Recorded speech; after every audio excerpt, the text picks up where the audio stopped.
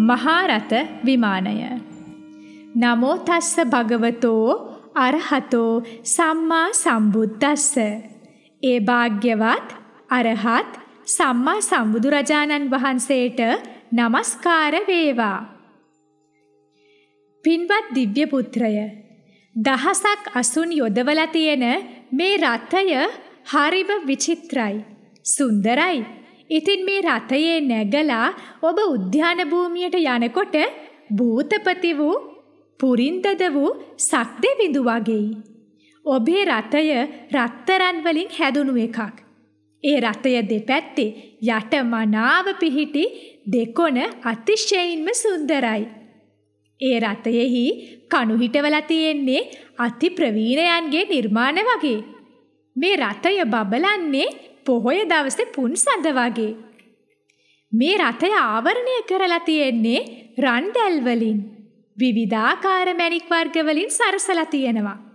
මිහිරි ස්වරයෙන් සොඳුරු ഘോഷාවකුත් නැගෙනවා. චාමර සලන අත්වලින් යුතු දෙවිවරුන් නිසා තවත් ලස්සනයි. මෙහි රතනාභිය සිතෙන් මවාපු එකක් වගේ. රතයේ රෝදාතරේ ඇති අරයන්ද මුතුමැණික් වලින් සරසලා තියෙනවා. ඒ රතනාභි සිය ගණනක් සැරසිරි වලින් සරසලා තියෙනවා. මේ රථය ගමන් කරනකොට එළිය විහිදෙන්නේ විදුලි කොටනවා වගේ. මේ රථය හරිම විචිත්‍රයි. දහසක් රැස් ඇති නිම් වලලු තියෙනවා. හරි මිහිරි හඬින් ඇහෙන කිංකිණි දැල් තියෙනවා. පංචාංගික තූර්යනාදය වගේ ඇහෙන්නේ.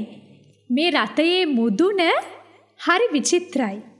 සඳ මඩල වගේ. මැණික් කොබ්බවල තියෙන්නේ. හැම තිස්සෙම පිරිසිදුයි. සිත් කලුයි ප්‍රභාෂ්වරයි. රන්වන් රේඛාවන්ගෙන් වඩාත් සුන්දර වෙලා තියෙනවා. වෛරෝඩි මැණික් රොදක් වගේ අතිශයින්ම සුන්දරයි. මේ අශ්වයොත් සඳ මඩල වැනි මැණික් වලින් සරසලා තියෙන්නේ. හොඳ උස මහත තියෙනවා. හොඳ ජවයකුත් තියෙනවා. හරි විශාලයි. බලවත් මහා ජවයක් තියෙනවා. ඔබේ සිතට අනුකූලවමයි අශ්වයන් ගමන් කරන්නේ. සතර පාදවල වේගයෙන් ගමන් කරන මේ හැම අශ්වයෙක්ම ජවයෙන් සමානයි. ඔබේ සිතට අනුකූලවමයි ගමන් කරන්නේ. මේ රථය උසුලන මෝවුන් හරි මෘදුයි. කීකරුයි. සතුට ඇති කරලා දෙනවා. අජානීය අශ්වයන්. අහසේ ගමන් කරද්දී මේ අශ්වයන් සැරසෙලි සොලවනවා. සීනු හඬින් මිහිරට නත දෙනවා. ඉතා යහපත් ලෙස කරන ලද සැරසිලි වඩ වඩාත් දීප්තිමත් වෙනවා. උන්ගේ ස්වරය මොනතරම් සුන්දර දෙයක් පංචාංගික තූරිනාදය වගේ. රටයේ ශබ්දයයි පලදනාවල ශබ්දයයි අශ්වයින්ගේ කුර ගැටෙන හඬයි අශ්වයින්ගේ හේසරාවයයි කියන මේ සියල්ලෙන්ම නැගෙන ഘോഷාව දෙවියන්ගේ ഘോഷාව සමග එකතු වෙනකොට දිව්‍ය ගාන්ධර්වයන් විචිත්‍ර වූ තූර්යනාද පවත්වනවා වගේ ඊටා මිහිරට ඇහෙනවා. ඒ රතයේ ඉන්නවා දිව්‍ය අප්සරාවන්. ඔවුන්ගේ ඇස් මුව පැටවුන්ගේ වගේ අඩවන් වෙලා තියෙන්නේ. දිගු ඇස් පිහාටු තියෙනවා. සිනහ මූණු තියෙනවා සොඳුරු කතා බහ තියෙනවා. වෛරෝඩි මැණිකෙන් කරපු දැල්වලින් සිරුර වහගෙන ඉන්නේ. ගාන්ධර්වයන්ගෙන් අග්‍ර දෙවියන්ගෙන් ඔවුන් හැම තිස්සෙම පිදුම් ලබනවා. ඒ දිව්‍ය අප්සරාවන් සිත් තලවන රතු පාට රන්වන් පාට වස්ත්‍ර වලින් සැරසලා ඉන්නවා. විශාල නෙත් යුග තියෙනවා. සොඳුරු රත් පැහැයෙන් සැරසුණු නෙත් යුග තියෙනවා. සොඳුරු උපතක් ලබා දෙන සොඳුරු සිරුරු ඇතිව රතයේ ඉන්න ඒ සුරාංගනන් දිව්‍ය කුමාරයාට වැඳගෙන ඉන්නවා. ඒ දිව්‍ය අප්සරාවන් රන්වන් ආභරණ පැළඳගෙන ඉන්නවා. දිවසලු දරාගෙන ඉන්නවා. සිහින් ඉඟ තියෙනවා. ස්තුල නැති, කෘෂ නැති වටොර තියෙනවා. පියයුරු තියෙනවා. දිගුවට ඇඟිලි තියෙනවා. සියුම් දැක්මෙන් යුක්තයි. රතයේ ඉන්න ඒ සුරාංගනන් දිව්‍ය කුමාරයාට වැඳගෙන ඉන්නවා. ඒ දිව්‍ය අප්සරාවන්ට ලස්සන කෙස් කලබක් තියෙනවා. ලස්සනට බෙදලා පීරලා තියෙනවා. රන් කෙඳි වලින් සරසලා තියෙනවා. ප්‍රභාෂ්වරයි. ඔබ හිතන හිතන පිළිවෙලටයි ඔබ කැමති පරිදි ඔවුන් සිටින්නේ. රථයේ ඉන්න ඒ සුරාංගනන් දිව්‍ය කුමාරයාට වැඳගෙන ඉන්නවා. ඒ දිව්‍ය අප්සරාවන් නෙළුම් මහනෙල් මලින් සැරසලා ඉන්නවා. දිව්‍ය සඳුන් තවරාගෙන ඉන්නවා. ඔවුන් අලංකාරයි. ඔබ හිතන හිතන පිළිවෙලටයි ඔබ කැමති පරිදි ඔවුන් සිටින්නේ. රතයේ ඉන්න ඒ සුරාංගනන් දිව්‍ය කුමාරයාට වැඳගෙන ඉන්නවා. ඒ මල් දරන දිව්‍ය අප්සරාවන් නෙළුම් මහනෙල් මලින් සැරසලා ඉන්නවා. දිව්‍ය සඳුන් තවරාගෙන ඉන්නවා. ඔවුන් අලංකාරයි. ඔබ හිතන හිතන පිළිවෙලටයි ඔබ කැමති පරිදි ඔවුන් සිටින්නේ. රතයේ ඉන්න ඒ සුරාංගනන් දිව්‍ය කුමාරයාට වැඳගෙන ඉන්නවා. ඔවුන්ගේ ගෙලෙහි ලස්සන පළඳනා තියෙනවා. අත්පාවලත් හිසේත් ලස්සන පළඳනා තියෙනවා. සරත් කාලයේ හිරුමඩල උදා වුණහම දස දිසාවම බබලනවා වගේ ඔවුන් බබලන්නේ. මද සුළඟින් ඔවුන්ගේ අත්වල මල් සෙලවෙනවා. පළඳනාත් සෙලවෙනවා. එතකොට එයින් නැගෙන්නේ සියලු ප්‍රවීණ ගාන්ධර්වයන් හට හුරු පුරුදු වූ නාද වැනි ඊතා කන්කලු සොඳුරු නාදයන්. දිව්‍ය පුත්‍රය ඒ උද්‍යානයේහි දෙපස රත හඬ ඇහෙනවා. කුංචනාදය ඇහෙනවා. කුරුළු නාදය ඇහෙනවා. එයින් දෙවිවරු ප්‍රමුදිත වෙනවා. නෙළුම්පත් නැමැති අත් ගැටෙනකොට වීණාවකින් වගේ මිහිරි නාදය ඇහෙනවා. මේ වීණාවල් වල බොහෝ කන්කලු මිහිරි හඬ ඇහෙනකොට ඊතා සුන්දර විලසට හෘදයාංගම නාදයන් ඇහෙනකොට දිව්‍ය අප්සරාවන් ඊතා හොඳින් පුහුණු වෙලා නෙළුම් මල් උඩ කර කැවි කැවි නටනවා.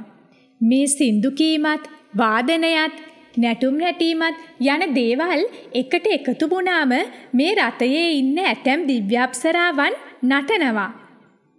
මේ රතයේ ඉන්න උතුම් දිව්‍යාප්සරාවන් දෙපැත්තේ ඉඳගෙන බබලන්න පටන් ගන්නවා. ඒ දිව්‍ය පුත්‍රයා තූරි වාදන වලින් සන්තෝෂ වෙනවා. ශක්‍රයා වගේ අන්‍යයන්ගෙන් පිදුම් ලබනවා. මේ වීණානාදයන් බොහෝ සෙයින් වැයෙනකොට හෘදයාංගම වූ මිහිරි නාදයට සතුට උපදිනවා. ඔබ ඉස්සර මනුස්ස ලෝකෙදී මොන වගේ පුණ්‍ය කර්මයක්ද කළේ? මොන විදියේ සිල්ද රැක්කේ? මොන විදියේ ධම්මචාරී ජීවිතයක්ද ගත කළේ? මොන වගේ වෘතයක්ද කැමති වුණේ? ඔබ කලින් ජීවිතයක කරපු පොඩි පහේ පිනක් නම් වෙන්න බෑ. රැකගත්තු පොඩි සීලයක් නම් වෙන්න බෑ. ඔබේ 이르දියානුභාවය අති විශාලයි. අනිත් දෙවිවරුන්ව ඔබේ ආලෝකයෙන් යටපත් වෙනවා. ඔබේ මේ පුණ්‍ය විපාකය දානයෙන් ලැබුණු එකක්ද? එහෙමත් නැත්නම් සීලයෙන් ලැබුණු එකක්ද? එහෙමත් නැත්නම් වෙනත් වැඳුම් පිදුම් වලින් ලැබුණු එකක්ද? මේ අහන කරුණට පිළිතුරු දෙනු මැනව. මොග්ගල්ලාන මහරහතන් වහන්සේ තමයි මේ ප්‍රශ්න ඇහුවේ. ඒ ගැන ඒ දිව්‍ය පුත්‍රයා ගොඩාක් සතුටු වුණා. මොන වගේ පින්කම් වලින්ද මේ සැප ලැබුණේ කියන ප්‍රශ්නයට ඔහු මෙහෙමයි පිළිතුරු දුන්නේ. ඒ අග්‍ර පුද්ගල වූ කාශ්‍යප බුදුරජාණන් වහන්සේ නරෝත්තමයන් වහන්සේ නමක්. ඉඳුරන් ජයගෙනයි ඉන්නේ. කෙලස් නෑ. දේවාති දේවයි. සුන්දර පුණ්‍ය ලක්ෂණයන්ගෙන් යුක්තයි. දෙවි මිනිසුන් හට අමූර්ත ద్వාරය විවෘත කරලයි තියෙන්නේ. මං උන්වහන්සේව දැකගත්තා. සසරෙන් එතරට වැඩි උන්වහන්සේ හස්ති රාජයෙක් වගේ. තනි රත්තරනින් කරපු රූපයක් වගේ. උන්වහන්සේව දැක බලාගත්තු ගමන් වහ වහා මං සිත පිරිසිදු කරගත්තා. සුභාසිත දජය වූ ඒ බුදුරජාණන් වහන්සේව දැකගත්තට පස්සේ කිසිවකට නොඇලෙන උන්වහන්සේට මං මගේ නිවසේ මල් අතුරලා දන්පැන් පූජා කරගත්තා. ඊතා පිරිසිදුවට ප්‍රනීත විදිහටයි ඒ රසවත් ආහාර පාන පිළිගැන්වූයේ. ඒ වගේම සිවුරුත් පූජා කරගත්තා. ඒ නරෝත්තමයාණන් වහන්සේට මන් දන්පැන් වලින් සිවුරෙන් රසවත් කැවිලි පෙවිලි වලින් හොඳින් පූජා සත්කාර කළා. දැන් ඒ මං දෙව්ලොවක් දෙව්ලොවක් පාසා යනවා. සුදස්සන දිව්‍යපුරයේ මන් දැන් ඇලී වසන්නේ. ඔන්න ඔය විදියට මං ඊටම නිර්වුල්ව දන් දීමට කලින් දන් දෙන විට දන් දුන්නට පසු කියන මේ තුන් අවස්ථාවේම ස්ථිත පහදවාගෙන තමයි දානමාන කළේ. ඊට පස්සේ මං ඒ මිනිස් සිරුර අත්හැරියා. දැන් මේ දිව්‍යපුරයේහි මං ඇලී වසන්නේ ශක්ති විඳු වගේ. මුනිවරයාණෙනි, ඊතා උසස් වූ ආයු, වර්ණ, සැප, බල යන මේවා ලබන්න කවුරු හරි කැමතිනම් නොවැළුණු සිත් ඇති බුදුරජාණන් වහන්සේ උදෙසාමයි ඊතා හොඳින් පිළියෙල කරපු බොහෝ දන්පැන් පූජා කරගත යුත්තේ. මේ ලෝකයේවත් වෙන ලෝකයකවත් බුදුරජාණන් වහන්සේට වඩා ශ්‍රේෂ්ඨ කෙනෙක්වත් සමාන කෙනෙක්වත් නෑ. උන්වහන්සේ දන්පැන් පූජා ලැබීමට සුදුසු උතුමන් අතර අතිශයින්ම සුදුසු උත්තමයයි. පින් කැමති උදවියට ඒ තුලින් මහත් ඵල ලබා ගන්න පුළුවනි. පස්වෙනි මහරත වර්ගය නිමා විය. එහි පිළිවෙල උද්දානයයි. මණ්ඩුක විමාන වස්තුව රේවති චත්තමානවක කක්කට ద్వාරපාලක කරණීය විමාන වස්තු දෙක සුචි විමාන වස්තු දෙක නාග විමාන වස්තු තුන රත විමාන වස්තු දෙක කියන මේ පුරුෂ විමාන වස්තු වෙනුයි ප්‍රථම වර්ගය කියන්නේ. තුන්වෙනි බණවරයි. පායාසි වර්ගය. අගාරීය විමානය. නමෝ තස්ස භගවතෝ අරහතෝ සම්මා සම්බුද්දස්ස. ඒ භාග්‍යවත් අරහත් සම්මා සම්බුදුරජාණන් වහන්සේට নমස්කාර වේවා. පායාසි වර්ගය උයන් අතුරෙන් ශ්‍රේෂ්ඨ වූ චිත්‍රලතා වනය තියෙන්නේ උතුම් තව්තිසා දෙවියන් අතරයි. ඔබේ මේ විමානයත් අන්න ඒ චිත්‍රලතා වනය වගේ බබලනවා. ඔබේ ඒ විමානය අහසෙහි බබලමින් තියෙනවා. මහානුභාව ඇති පින්වත් දිව්‍ය පුත්‍රය. දිව්‍ය අධිපති බවටයි දැන් ඔබ පත් වෙලා ඉන්නේ. මිනිස් ලෝකේ ඉන්න කාලෙදී මොන වගේ පිනක්ද ඔබ කළේ? ආනුභාව සම්පන්නව ඔය බැබලි බැබලි ඉන්න පින මොකක්ද? ඔබේ සිරුරෙන් විහිදෙන එළියෙන් හැම දිසාවම බබලනවා. මොග්ගල්ලාන මහරහතන් වහන්සේ තමයි ඒ ප්‍රශ්න ඇහුවේ. ඒ ගැන ඒ දිව්‍ය පුත්‍රයා ගොඩාක් සතුටු වුණා. මොන වගේ පින්කම් වලින්ද මේ සැප ලැබුණේ කියන ප්‍රශ්නයට ඔහු මෙහෙමයි පිළිතුරු දුන්නේ. ස්වාමීනි මමත් මගේ බිරිඳත් මනුස්ස ලෝකෙදී ගිහි ජීවිතය ගත කළේ පෑන් පොකුණක් තියෙනවා වගේ. ආර්ය සංඥා විශේෂෙහි සිත පහදවාගෙන බොහොම පිළිවෙලට අපි මහා දන් පෑන් පූජා කළා. ඒ පිනෙන් තමයි මෙවැනි ලස්සනක් මට ලැබුණේ. ඒ පිනෙන්මයි මේ සම්පත් ලැබුණේ. සිතට ප්‍රීතිය උපදවන මේ සැප සම්පත් ඔක්කොම ලැබුණේ ඒ නිසාමයි. මහානුභාව සම්පන්න වූ ස්වාමීන් වහන්ස. මිනිස් ලෝකෙදී ඔය පින තමයි මං කරගත්තේ. ආනුභාව සම්පන්නව බැබලි බැබලි ඉන්න පින ඕක තමයි. මගේ සිරුරෙන් විහිදෙන එළියෙන් හැම දිසාවම බබලනවා.